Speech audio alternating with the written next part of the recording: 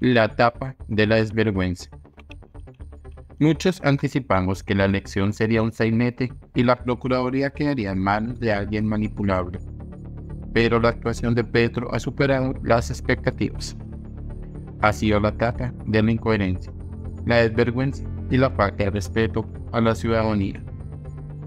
En lugar de impulsar su prometido cambio, se mofó de sus compatriotas al elegir, saltándose el camino que él mismo había trazado, al eterno secretario general del Senado. Le importó un soberano pimiento que 45 personas presentaran la exhaustiva documentación requerida para que Presidencia los tuviera en cuenta, y menos le preocupó despreciar a la veintena que pasó el primer corte tras ser evaluados con un procedimiento transparente por la Secretaría Jurídica del Palacio y el Departamento Administrativo de la Función Pública. Esos funcionarios gastaron tiempo y recursos públicos inútilmente, igual que ocurre con las avanzadas de seguridad del presidente cuando no asiste a los eventos programados. De ahí que tenga sustento la acción popular presentada por el abogado Saúl Onofre Villa porque el despilfarro de horas de trabajo y gastos de funcionamiento no deja de ser una modalidad de corrupción.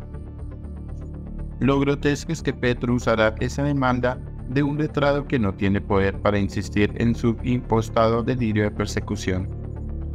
También me van a quitar mi derecho constitucional a tener candidato a procurador de todas las personas que se me inscribieron ante las cortes y mi despacho o se trata de un vargasyerismo que sufre de viudez del poder, escribió en su cuenta de X, como si hubiese respetado a los 45 inscritos en su despacho. ¿Y cómo se elegirá al candidato que desechó la Corte Suprema no tuviese la doble intención de menospreciar a los magistrados y al mismo tiempo esperar mayor lealtad de quien logrará, gracias a la jugadita del Palacio de Nariño, la anhelada corona?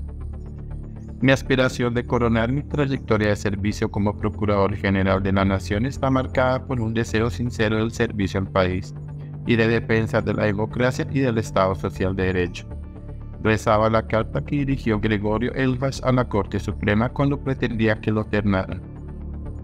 Con su elección, gobierno y oposición espera contar con otro encubridor de atraco salario, incluidos los protagonizados por el círculo íntimo de Petro y sus huestes.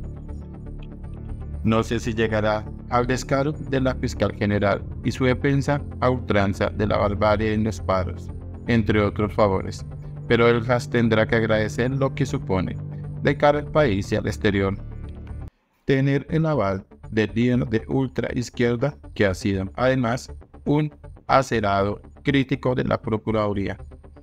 Si sacara su constituyente seguro que lo enterraría, aunque no podemos descartar que después sea un Ordóñez, al que Petro votó en otro triple salto mortal. También es una burla la justificación que esgrimen voceros petristas para el despropósito de alternarlo.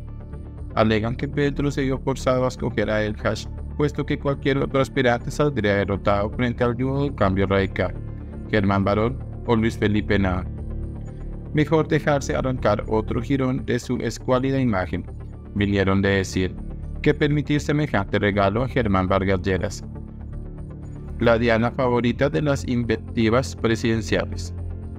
Es decir, Gustavo Petro y el pacto histórico que se las siguen dando de impolutos pese a la compra de voluntades con los fondos de desastres, aceptan dar votos a cambio de un trato ventajoso. Esperan que el dedazo presidencial sirva para que el mire para otro lado ante los sucesivos escándalos de corrupción del petrismo y de paso nombre alguno que otro procurador de sus entrañas. Lo ignoran que dispone de más de 150 cargos de libre designación con salarios de unos 45 millones. Lo cierto es que Barón y Henao tampoco garantizaban independencia ni transparencia. Henao es un politiquero de escasa o nula confianza, que ha demostrado ser fiel lacayo de quien lo nombre, y Barón, que concita más respeto entre sus colegas no podría gozar de credibilidad dada su larga trayectoria en cambio radical, así se haya distanciado de Vargas Lleras.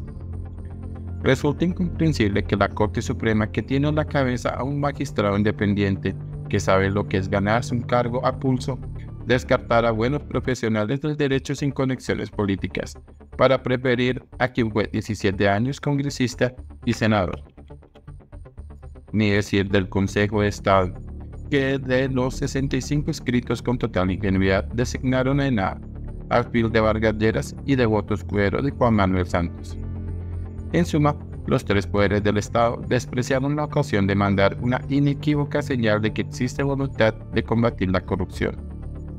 Colombia es un país rico, con enorme potencial, sumido en el atraso, la violencia y la pobreza por ese cáncer letal. Si no lo erradican, poco cambiará.